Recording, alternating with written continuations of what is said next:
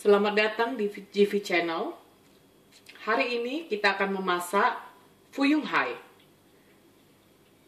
Dalam uh, acara kita ini, kita membagi dua bagian, yaitu pertama Fuyung Hai itu sendiri, dan yang kedua adalah saus Fuyung Hai.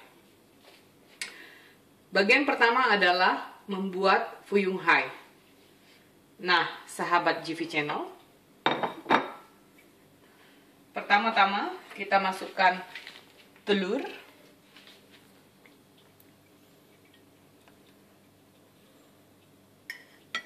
Kemudian kita masukkan bawang putih.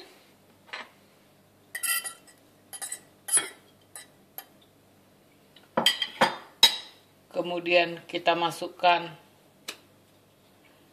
garam.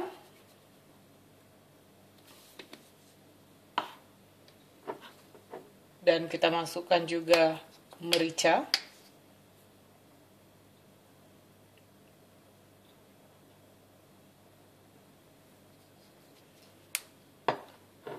Dan kita masukkan juga udang. Nah udang ini sudah dicincang. Cincangnya cincang kasar saja.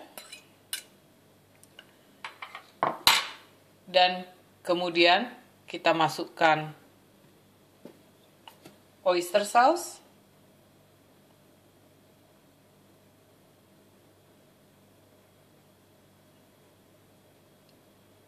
Ya. Kemudian kita masukkan sesame oil.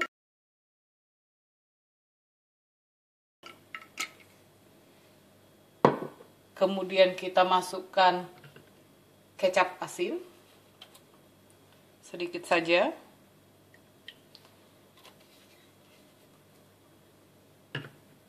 dan kemudian kita masukkan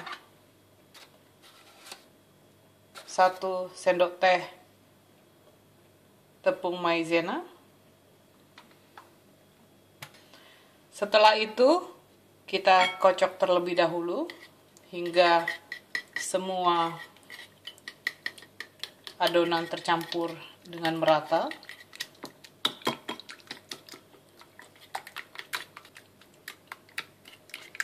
Setelah adonan tercampur merata, kemudian kita masukkan beberapa sayur, yaitu kol, wortel, dan daun bawang. Nah, kol ini dipotong kecil-kecil, kemudian uh, wortel ini dipotong seperti korek api, bentuknya dan juga daun bawang dipotong cincang kecil. Kemudian kita aduk kembali hingga adukan kita rata.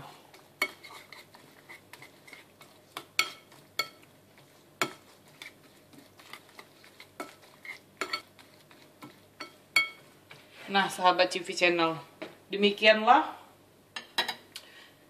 sesi pertama daripada pembuatan fuyung hai tersebut. Kemudian kita akan menggoreng fuyung hai dengan menyiapkan terlebih dahulu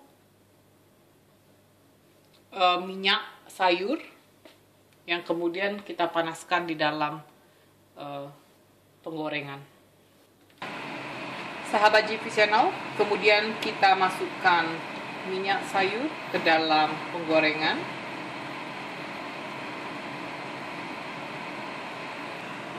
Nah, sahabat GP Channel, setelah api mulai panas, eh, penggorengan mulai panas, maka kita masukkan uh, fuyung hai tersebut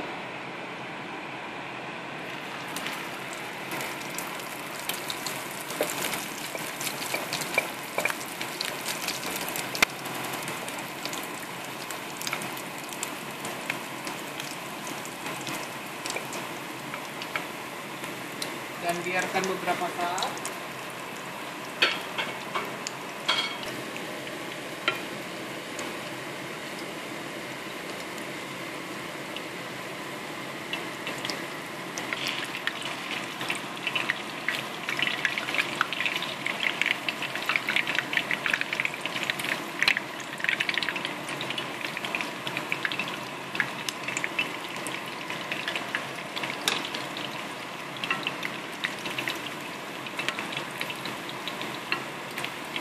dan kemudian dan kemudian fuyung hai tersebut kita balikkan sehingga sisi daripada atas fuyung hai menjadi sisi di bawah dan sedang digoreng.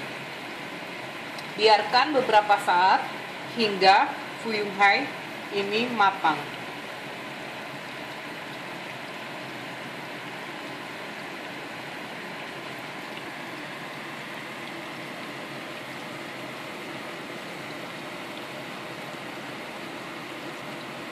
Hmm, aromanya sudah tercium sangat harum.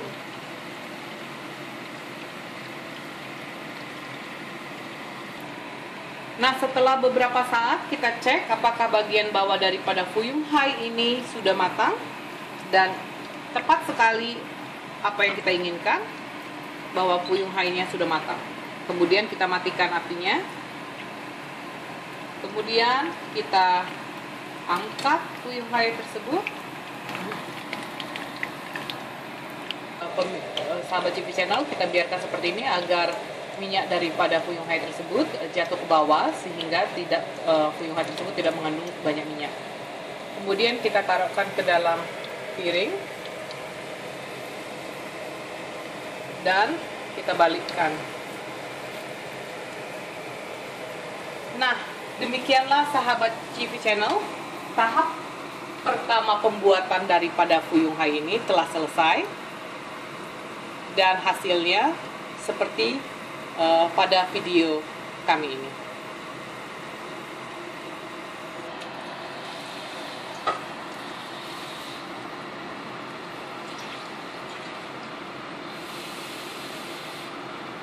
Tahap kedua daripada masakan kita kali ini adalah membuat saus fuyung hai.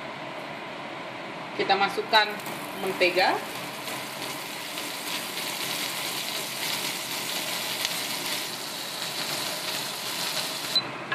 Nah, setelah menteganya cair, kemudian kita tumis bawang merah. Bawang merah ini kita potong memanjang hingga bentuknya menjadi cantik.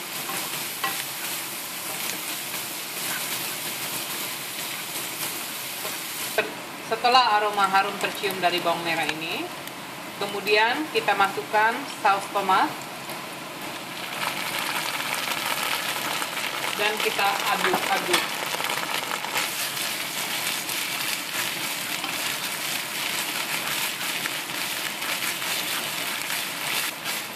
Kemudian kita masukkan garam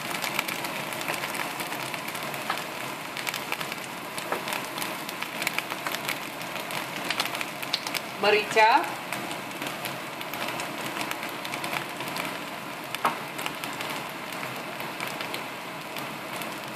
oyster sauce.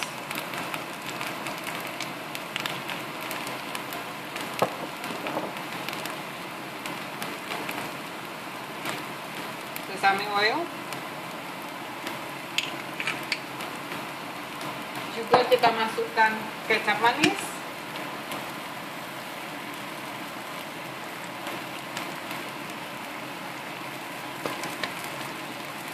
kemudian kita masukkan kecap asin sedikit. Sedikit saja. Setelah itu kita aduk kembali bahan-bahan kita tadi. Dan kira-kira setelah tercampur merata kita masukkan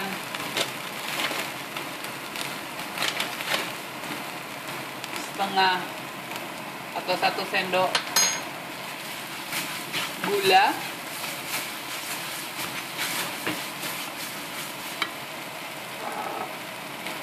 Kemudian kita masukkan air.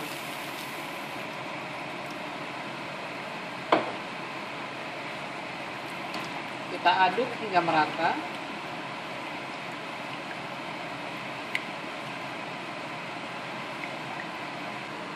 Nah setelah kira-kira bahan-bahan tadi telah mendidih kemudian agar menambah rasa asam manis daripada saus ini manis tadi sudah dari gula, kemudian untuk asamnya kita tambahkan tamarin sedikit saja karena sebenarnya saus tomat tersebut sudah asam.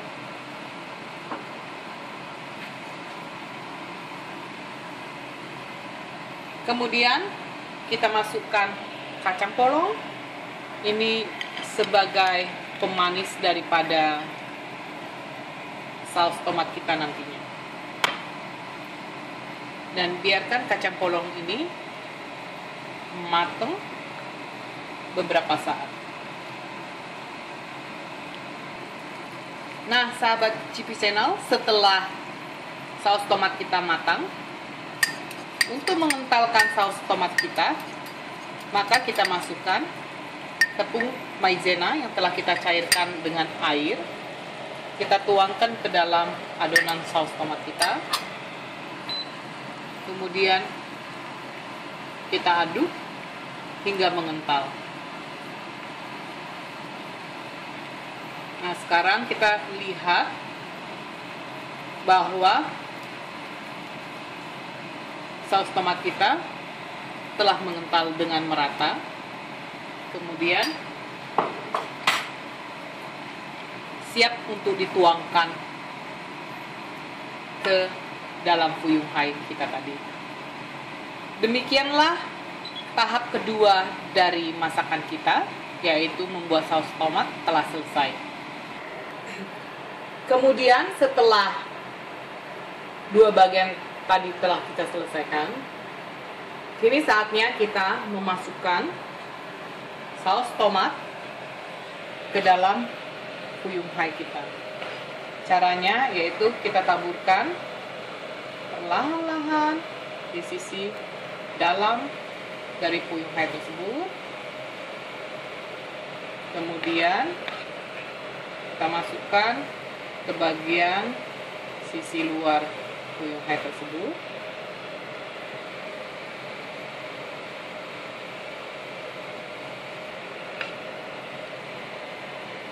Nah, jika semuanya sudah tercover dengan baik, kita bisa tuangkan sisi luarnya dengan saus tomat tadi.